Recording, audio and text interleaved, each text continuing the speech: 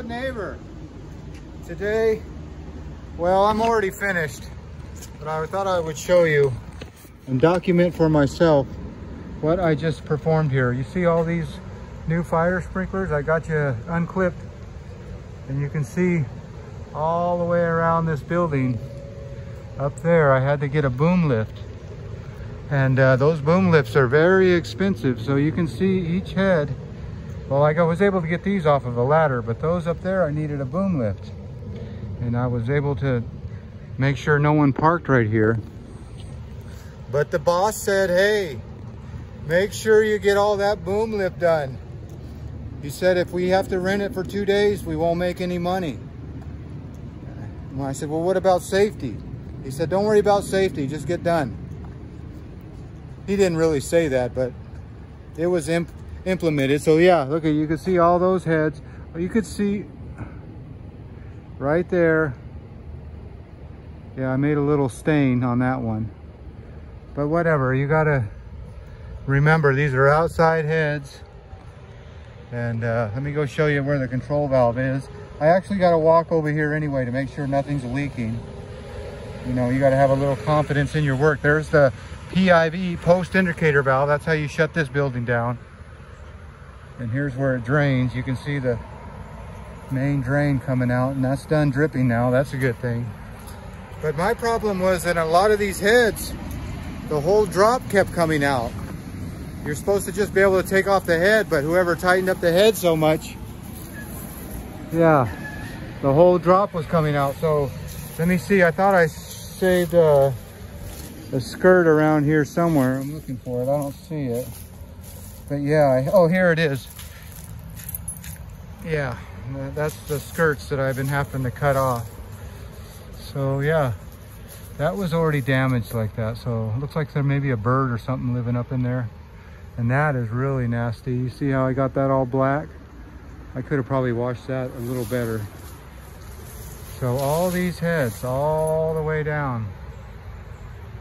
All right, let's keep going. Watch your step here.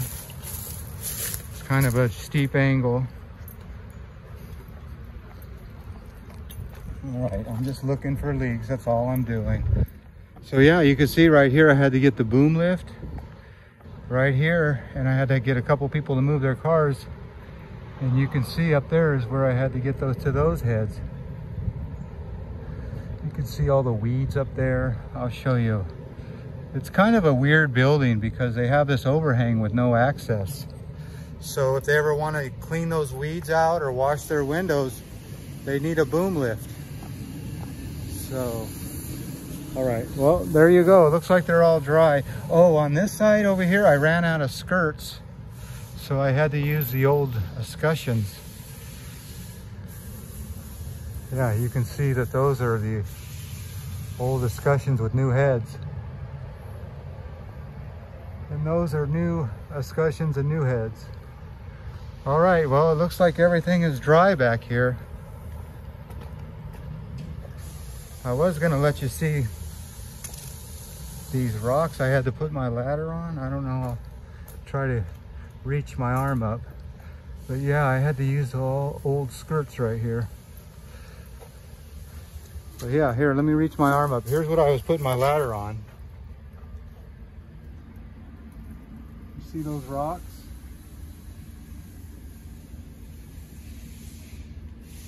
Okay. Well, it looks like those heads are all done.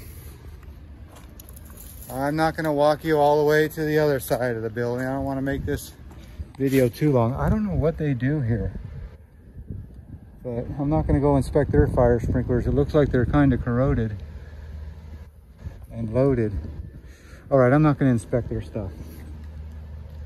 That's, uh, yeah, two days to do all this building. I had a helper yesterday for the high stuff. So.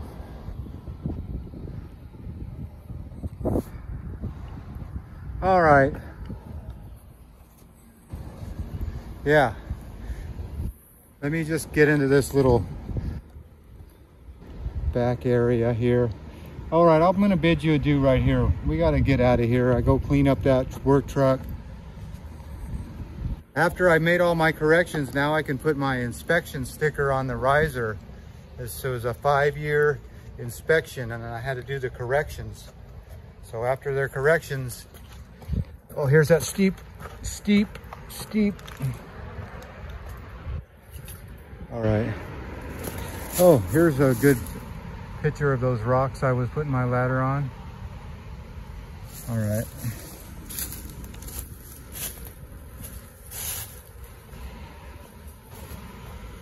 Well, I don't hear that bell going off, so that's a good thing. And I guess this is how those planters drain. There must be a little drain right there, so any water that gets into these rocks, that's where it drains. And you can see this is my main drain. All right. Well, as always, I want to thank you again for coming along with me on these whatever adventures, I guess, looking for leaks adventures. All right, you know the drill. Peace, love, and all that hippie jazz. Bye-bye, everybody. Don't you start dripping.